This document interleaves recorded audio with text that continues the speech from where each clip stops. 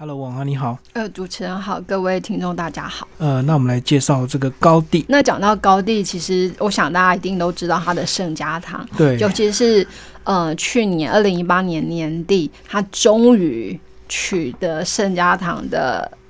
营建执照，嗯所以可以好好的盖，然后预计会在二零二六年完工。嗯对，那那一年也刚好是高地逝世一百周年。对，那再去西班牙、去巴塞隆那，或者是就加泰隆尼亚那边，其实这是它的那个建筑是我们一定会去看的。嗯，对那高地究竟是一个怎么样的人？其实就是这本书这样短短的八十页，要呃从他小到他最后到底留下了些什么样的作品，嗯、给读者一个完整的那个概念。嗯所以高地不是只有设计这个圣家堂，其实他还设计过很多疯狂的建筑啊，都在这本书非常呃简单，然后又详细的一个说明这样子。接下来就来帮我们聊一些比较特别的一个建筑，好不好？嗯，好，这其实高地他从小时候开始，他就很喜欢跟建筑有关的东西。那可是其实他就是一个不按牌理出牌的小孩。对但是包括他去学校上课的时候，然后他就听到老师说：“哎，鸟长翅膀是因为它要飞翔。”结果高地马上就举手说：“老师不对，我家的鸡也长了翅膀，可是它们不会飞啊。嗯嗯，那他其实就是一个很反骨的小孩，嗯所以其实这也让我们后在后来看到他的那个建筑作品上，其实真的完全跟其他建筑师不一样，所以就有人说。我们面对的真的不是一个天才，就是一个疯子。对那其实之前我们在讲那个达利或沃荷的时候，就是也让人家也都有同样的感觉。那可是其实就是高地，他是在建筑这方面真的做了很多大家想象不到的事情。可是他并不是一帆风顺，也是经历了很多那个。挫折跟失败，可是应该要算他其实运气非常的好吧，就是他有很很有钱很有钱的赞助人，那赞助人其实看到了他的作品之后，就把自己的家，甚至包括自己家里的教堂，甚至还有那个建筑计划都交给他。所以像我们去，其实可以看他第一个那个。呃，很重要的就是呃，新建私人住宅。现在呃，就是奎尔宫。那这个这个家族其实他是欧比西奎尔巴奇加鲁皮。那他们他们是非常非常非常富有的家族。就如果比方说呃，对于那个。意大利的那个佛罗伦斯的美第奇家族有概念的话，那其实这个奎尔家族他们的地位大概就是跟美第奇在十五世纪的时候的地位一样，嗯所以由他出资来让那个高地完成他的作品，这真的让高地就实践了很多不可能。对，嗯那包括比方说他帮他们建造的第一座那个呃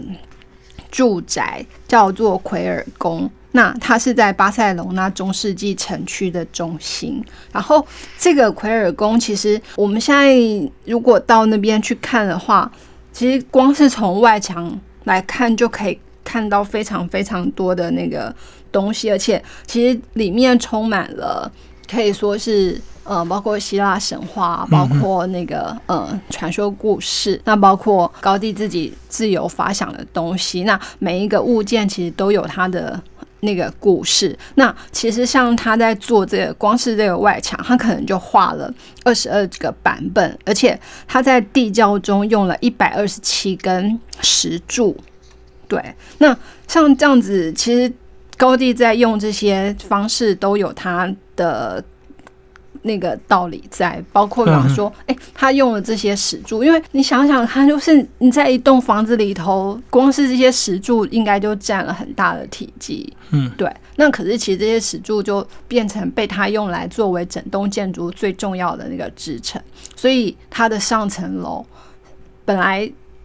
建就是建筑物的结构应该要固定下来，这样才不会有就是呃哪些就是结构如果坏掉，可能会导致整个建筑损坏损损伤。那可是其实高地的建筑，其他层楼反而是可以任由墙面自由的移动。对，那这也是其他建筑师其实很少能够达到的一种方式。然后像呃，这个就是这本书其实就也有结合了插画，所以插画家在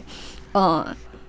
在书上其实他有。另外画了这个奎尔宫的剖面图，因为现在似乎还不能，就是没有开放进去参观，对对？对，那所以我们就可以从它的剖面图看到，其实它每一层楼结构其实看起来就非常的精彩，几乎没有一个地方是重复的。那甚至其实就很像一座那个。嗯，迷宫或者是一座乐园，对。那甚至就是通常其实屋顶大家好像不会特别去做什么，可是高地却把它的屋顶打造成一个那个地景。那它上面就有很多奇形怪状的柱子，然后甚至包括还有尖塔，然后每一座柱子或塔的那个模样还完全不一样。那它其实就让哎这个屋顶的地方变成大家都可以上去游玩的那个。的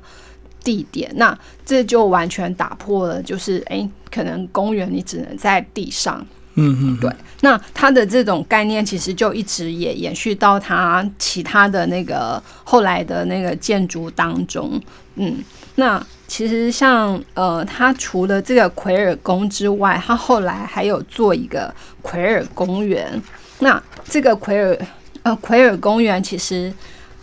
可以说是那个时候的建案，对他们是在比就是离巴塞隆纳跟圣家堂比较远的那个西边山丘里头呢，他是为了要替比较有钱的市民量身定做的那个豪宅开发案。那当然就是由奎尔出钱，然后有高地设计，嗯，然后高地其实他在这边他用了很多就是希腊古典主义的概念，然后像是包括。呃，可以看到有点像是市集的那个希腊剧院，然后有广场可以让小孩玩，然后也有散步道，然后就是因为他们是在比较西边的山丘，所以反而就可以从这里俯瞰那个巴塞隆纳那边的整个城市风光，所以它其实整片区域做起来，整个也非常的庞大。那当然就是高地也。在此设了很多规则，就是你居住的居民嘛，说你的围墙你不可以打，就是围墙如果你要增建，你不可以超过多少，因为这样你可能会妨碍到别人家的那个视野景观什么的。对，那在这座这整座就是真的是非常豪华，然后非常特别的那个建案，可是实际上在当时就没有人想买，因为交通的确不是那么便利。然后到后来其实。反而是高地自己跟家人搬进来住，对，那其他地区就是空屋的保留了他的那个状况，所以其实像他在这个里头就是做了这些东西，然后后来因为奎尔宫跟奎尔公园的，让他其实就整个声名大噪，所以他后来就也接了，比方说像有一个叫巴特楼之家。嗯，那巴特楼之家其实它有很很可爱的那个外号，比方说它就叫骨头屋或呵欠之家。就是高地他自己就说，哎，这整座屋子是由静止的湖水化成的，然后波光潋滟，风吹拂水面泛起阵阵涟漪，所以。它的外观我们一看，它都不是平面的，它是凹凸，就是弯曲，像波浪那样子。而且其实走到里头会发现，哎，它在里头它用了不同颜色的蓝瓷砖，所以越往上越深。所以，嗯，那个形容就是走进去，好像你就置身在那个海底。然后那个花园就是也给了一个名称，叫做那个章鱼的花园。然后就是在里头，如果从窗户往外看，就会很像哎，潜水员从海底透过海水这样看着那个外面的世界。对啊，那它这里头其实没有一个地方是直线，这也是它高地的建筑跟其他建筑非常非常不同的地方。就屋内都是这个呃圆形或有弧度，就对。对，嗯那这样的那个功法其实很困难，然后所以其实并不是 后来的建筑师会常常采用的。那可是其从这里其实就可以发现，高地其实非常的神奇，因为这种弧形。的使用方式，包括就是他有另外做一个纺织村，他那个时候没有电脑，可是他却可以凭他自己的计算，手感啊，对，做出来像这样的东西。嗯那这些也运用在他后来去建这个圣家堂。对，那他建圣家堂其实就是也没有得到政府的许可，可是他觉得这个是他一定要做的事情，而且他觉得他的委托人是上帝。高地算是信仰非常虔诚，而且他也很特别，就是他就。呃，算是几乎终身吃素，因为他觉得这是他荣耀上帝的方法，甚至他也就是会哎绝食，对，甚至绝食到快要饿死的地步。那可是他后来就整个人就投入到这个圣家堂，可是他到晚年其实有点可怜，就是他的那个赞助者去世，然后其他后来没有再